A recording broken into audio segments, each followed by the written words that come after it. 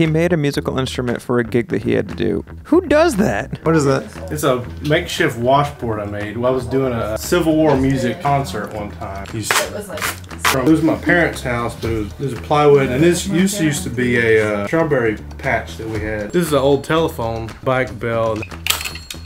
Somebody called that the Jacob's ladder one time. Would you do that? Because